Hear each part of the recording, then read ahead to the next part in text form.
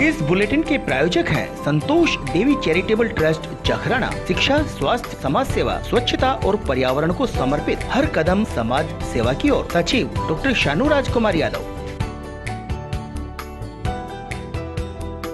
Indu hospital, Neemrana, राज क्षेत्र का अत्याधुनिक साठ बेडेड और एन मान्यता प्राप्त डॉक्टर इंदु यादव, स्त्री एवं प्रसूति रोग विशेषज्ञ डॉक्टर अशोक यादव, पूर्व सर्जन एस जयपुर और जाने माने डॉक्टर आवेश बाल एवं शिशु रोग विशेषज्ञ। इंदू हॉस्पिटल में digital X ray, pharmacy, patholab, ICU and operation theatre 24 घंटे एंबुलेंस और आपातकालीन सेवाएँ। मुख्यमंत्री चिरंजीवी स्वास्थ्य बीमा योजना भामासा स्वास्थ्य बीमा योजना, अमूल डेयरी बेनिफिशरी और सभी सभी प्रमुख टीपीएस सुविधा द्वारा निशुल्क उपचार उपलब्ध। नमस्कार मैं हूँ हनुमान गोयल और आप देख रहे हैं राज ट्वेंटी मिशन हंड्रेड के तहत निमराना थाना पुलिस की अपराधियों के विरुद्ध प्रभावी व त्वरित कार्यवाही देखने को मिली जहाँ हाईवे पर होटलों पर खड़ी गाड़ियों के शीशे तोड़कर बैग में नकदी चुराने वाले बदमाश जौनी पुत्र कमलेश उम्र 28 साल निवासी बवानी खेड़ा भिवानी को गिरफ़्तार किया।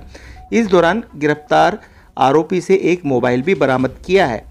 थाना अधिकारी प्रेम प्रकाश ने बताया कि यह अपराधी होटलों पर खड़ी गाड़ियों के शीशे तोड़कर उनके अंदर रखे सामान की चोरी करता था, लेकिन इस अपराधी की सावधानी के सामने नेमराना पुलिस की मेहनत भारी पड़ी और इसे त्वरित रूप से गिरफ़्तार कर लिया गया।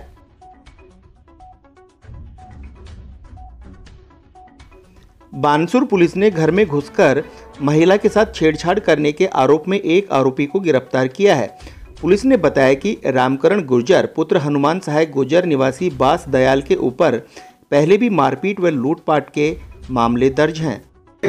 अभी हमने रामकरण जिसका नाम गोदाराम भी कहते हैं इसे गाँव में, जाति गुर्जर है और रामकरण के पिताजी का नाम हनुमान साहब, बास दयाल का लड़का ही है। और पहले भी इसके विरुद्ध लूट के, मारपीट के, सरकारी कर्मचारियों से मारपीट के और मुकदमे दर्ज हुए हैं। हाल ही में एक मुकदमा दर्ज हुआ था कुछ महीने पहले।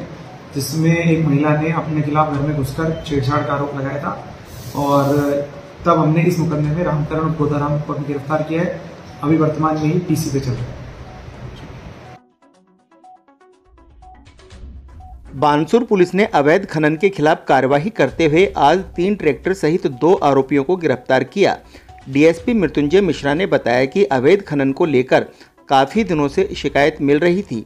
जिसको लेकर आज खनन व वन विभाग के साथ मिलकर पुलिस ने हमीरपुर के पहाड़ों में अवैध खनन को लेकर कार्यवाही की। अवैध खनन को लेकर जो भी शिकायतें प्राप्त हो रही थी उनके विरुद्ध हमने कार्रवाई शुरू कर दी है। राज्य सरकार ने भी, राज्य सरकार ने अभी कुछ समय पहले ही इस बात के स्पष्ट निर्देश दिए हैं कि किसी प्रकार का अवैध खनन किसी क्षेत्र में नहीं होना चाहिए। इसको लेकर हमने कल भी एक ट्रैक्टर, ट्रॉली और पत्थर समेत एक आदमी को शाम को डिटेन किया था और आज सुबह हमीरपुर की पहाड़ियों में खनन के पश्चात दो ट्रैक्टर, ट्रॉली और पत्थर समेत हमने एक आदमी को अरेस्ट कर लिया है और एक जो व्यक्ति अशोक मुंडली का है, जो दूसरे ट्रैक्टर का ड्राइवर था, वो पुलिस को देखकर, जाप्ते को देखकर वो पहाड़ पर चढ़ गया और वो मौके से फरार हो गया। और आप लोगों के माध्यम से मैं ये कहना चाहूँगा कि अवैध खनन जो भी लोग कर रहे हैं, वो अब इस प्रकार की कोई कार्रवाई में इन्वॉल्व नहीं हो। और आम जनता से भी कहना चाहूँगा कि आपके आसपास अगर किसी प्रकार कोई अवैध खनन होता है तो हमें अवश्य सूचित करें। बीकानेर मिष्ठान भंडार लाया है स्वादिष्ट मिठाइयों की भरमार। वाजिब दाम, बढ़िया क्वालिटी का वायदा, तीज और सिंजारे के अवसर पर अपने परिवार व रिश्तेदारों के लिए ले जाएँ मावा और दूध से बने शुद्ध देसी घी के घेवर और फेणी। केसर व गुलाब फ्लेवर में उपलब्ध, एक से बढ़कर एक क्वालिटी। शुद्ध खाएँ, ताज़ा खाएँ, स्वस्थ रहें। मिठाइयों की दुनिया में बहरोड में एक ही नाम, बीकानेर मिष्ठान भंडार। नीमराणा के नंगली बलाहिर गाँव में बाबा थानेसर महाराज का भव्य मेले का आयोजन हुआ, जिसमें कुश्ती दंगल, kabaddi, high jump, long jump, गोला फेंक जैसी प्रतियोगिताओं का भी आयोजन हुआ। इन सभी कार्यक्रमों में मुख्य अतिथि भाजपा महिला मोर्चा राजस्थान प्रदेश सह संयोजक प्रशिक्षण डॉक्टर शानू राजकुमार यादव रही।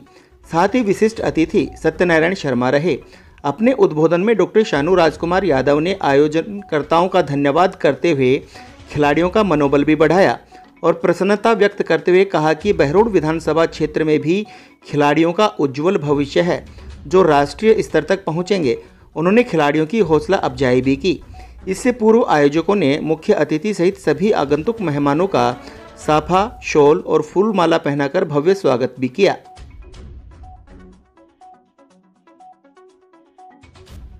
लायंस क्लब बहरोड किंग्स द्वारा तीज सिंधारा कार्यक्रम का आयोजन किया, जिसमें क्लब के परिवार की सभी महिला सदस्यों और बच्चों ने भाग लिया। महोत्सव के दौरान महिलाओं ने एक दूसरे से संवाद करते हुए परिचय भी किया। साथ ही क्विज और डांस प्रतियोगिताओं में भी हिस्सा लिया। म्यूज़िक कार्यक्रम के बाद विजेता महिला और बच्चों को पुरस्कृत भी किया गया। प्रमोद अग्रवाल ने अपने संबोधन में कहा कि इस तरह के आयोजनों को क्लब के द्वारा निरंतर रूप से करते रहना चाहिए और महिला सदस्यों को भी समाज के प्रति अपने कर्तव्य निष्ठा को दोहराते हुए विभिन्न प्रकार की सामाजिक गतिविधियों में हिस्सा लेना चाहिए। इस महोत्सव में नीतू, बीना, अन्नू, सीमा, शीतल, सरिता अग्रवाल सहित बड़ी संख्या में महिलाएँ उपस्थित रही।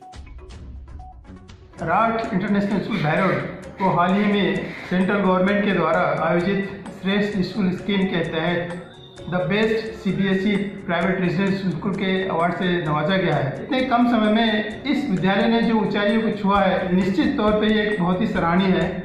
हर साल कोचिंग के माध्यम से नीट में आई में और N D N T S C S T S C में नंबर ऑफ़ स्टूडेंट्स का चयन होता जा रहा है।